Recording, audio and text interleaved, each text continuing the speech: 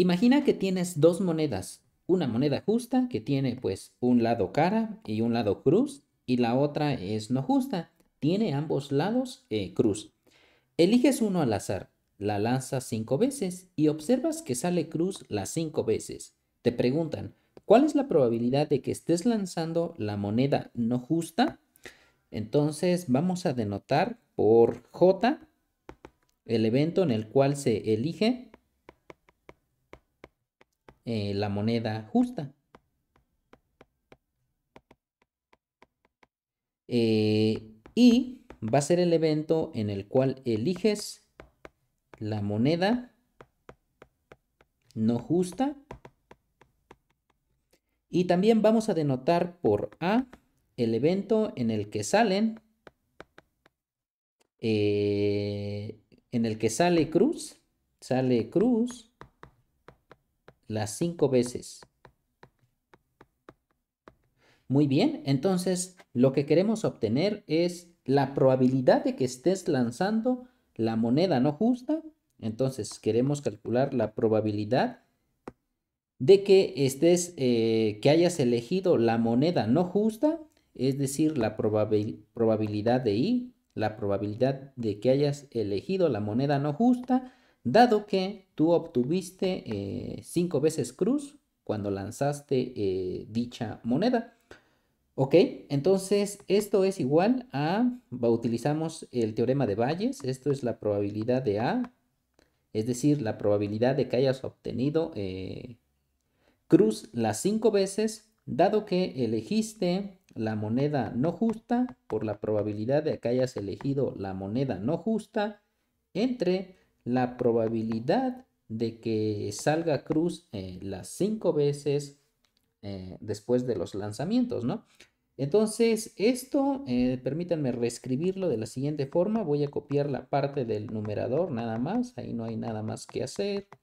Y acá abajo voy a reescribir la probabilidad de A utilizando probabilidad total.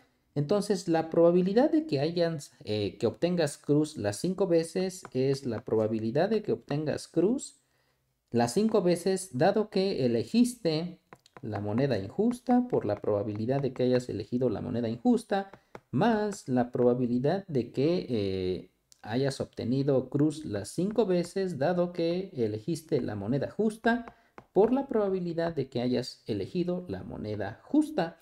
Y ahora únicamente vamos a sustituir la probabilidad de que hayas obtenido eh, cruz las cinco veces dado que elegiste la moneda injusta Note que la moneda no justa, la moneda no justa únicamente tiene eh, lados, eh, en ambos lados tiene cruz. Entonces la probabilidad de que hayas obtenido cinco veces cruz, eh, dado que elegiste la moneda no justa, pues eso es 1 ya que las dos caras tienen cruz. Entonces esto es 1, que ya ni siquiera lo voy a escribir, por la probabilidad de que hayas elegido la moneda no justa.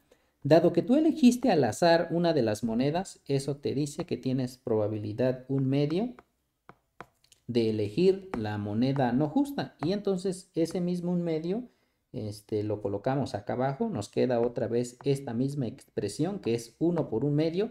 Entonces aquí otra vez nos queda 1 por un medio, pero ya no estoy escribiendo el 1. Entonces nos queda un medio más la probabilidad de que hayas obtenido 5 veces eh, cruz dado que elegiste la moneda justa.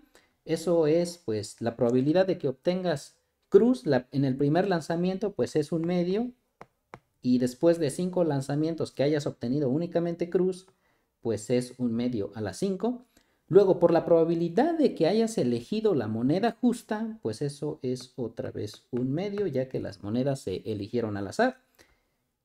Y bueno aquí podemos simplificar y nos va a quedar este 1 sobre 1 eh, más un medio a la 5. Esto es 1 sobre 1 más 1 sobre 32. Y bueno, esto nos queda que es aproximadamente 0.9696. Entonces aquí tenemos la probabilidad buscada, que bueno, si queremos una aproximación, esta sería 1.